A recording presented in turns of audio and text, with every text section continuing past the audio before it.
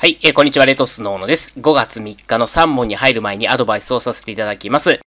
休みで注意すべきは、ダラダラ学習です。時間があると集中しないで勉強する場合が多いです。集中せずに勉強しても、ほとんど効果はありません。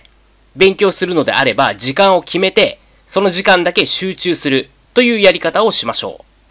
一度に4時間ぶっ通しで勉強するというのはやめて、1時間勉強、15分休憩、1時間勉強、15分休憩といった感じで4回に分けて4時間勉強した方が効率が良いです。ぜひ実践してみてください。それでは本日の3問に入ります。え不法行為が A と B の過失による共同不法行為で C に損害を与えた場合、A と B の過失の割合が3対7の時でも C は A に対して損害の全額について賠償を請求することができる。丸か×かという問題です。考えたい方は動画一旦ストップしていただいて、この動画の下の概要欄から問題文ご確認ください。で、答えは丸ですね。共同不法行為によって他人に損害を与えたときは、その全額について共同不法行為者はそれぞれ連帯して賠償責任を負います。つまり、被害者 C っていうのは A に対しても B に対しても全額賠償請求できるんですね。まあ、これは連帯債務の基本事項なので、まあ、解けるようにしておきましょう。そしてこの解説を聞いて、あれ？ちょっと疑問に思った方もいると思うんですよ。その疑問についてはすいません、個別指導で解説する流れになりますので、その点ご了承いただければと思います。で、問い2ですね。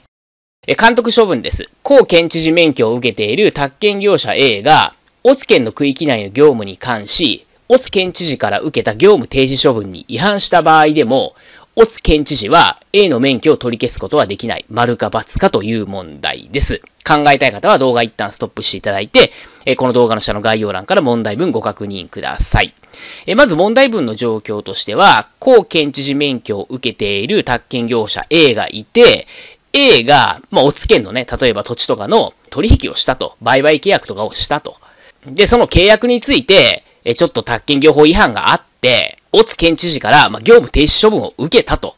で、業務停止処分を受けたにもかかわらず、それに違反したってことなので、業務を行ったってことなんですよね、A さんが。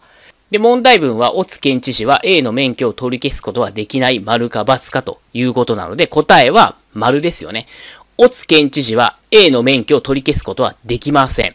A は、高県知事から免許をもらってますよね。つまり、高県知事が管轄してるわけですよ。その A の免許を別の知事が取り消しができるとなると、高県知事の立場ないわけですよね。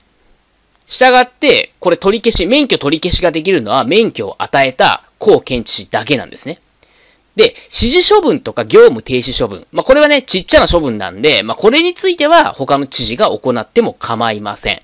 つまり、まあ、今回の問題文で言うと、オツ県知事が A に対して業務停止処分をしてますよね。まあ、これは全然問題ないんですよ。ただ、免許取り消しについては、免許をした公検知事しかダメですよっていう話なんですね。